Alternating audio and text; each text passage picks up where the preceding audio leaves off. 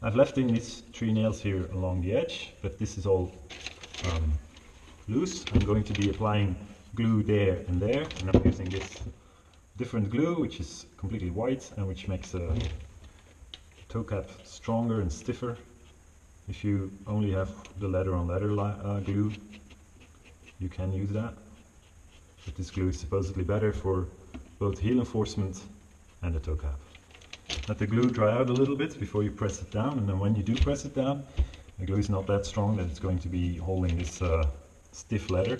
So we're going to have to have to put in a couple of nails here around the edge to keep it down. And then we're going to remove these nails, we're going to push some glue under there and then once again we'll hold everything down and, and let it dry.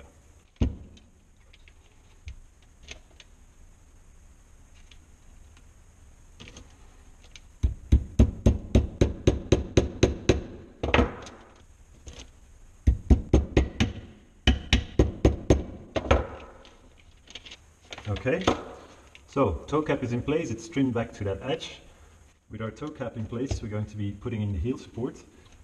Um, the heel support, basically we're going to put in a sort of rectangular shape with a rounded top. Take out your tape measure, slide it between the lining to where it bumps into the zipper, down at the edge of the shoe, and then you sort of measure to a good way around here somewhere, which is 15 centimeters for me. So it's going to be 15 centimeters wide and then let's say 7, like that, 7 centimeters high. So we have a rectangle of 15 by 7 and then add a bit of a curve there and there this will be our heel enforcement. We're going to cut that out out of this same leather that we used for our toe cap. Uh, and then we're going to insert it at the heel. These are our two heel enforcements. We're also going to have to skive this along this entire curved edge here. So make it taper off towards the end.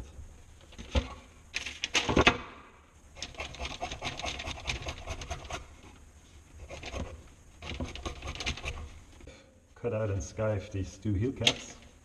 So it's going to be like this. I'm going to glue this down and then we'll just um, we'll put the upper down to keep it in place. Right? I'm not going to put any nails in here because it will make a hole in the lining. And whereas we can't see the holes in the lining here, we will see the holes in the lining there. So no nails.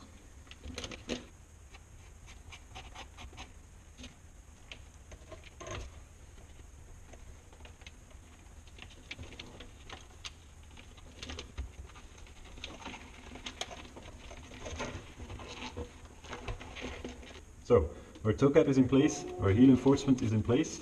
We're going to let this dry for a little bit.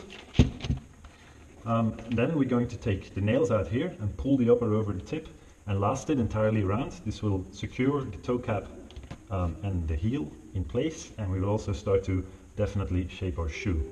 Um, while I let this sit a while, I'm going to repeat the same steps on my second shoe.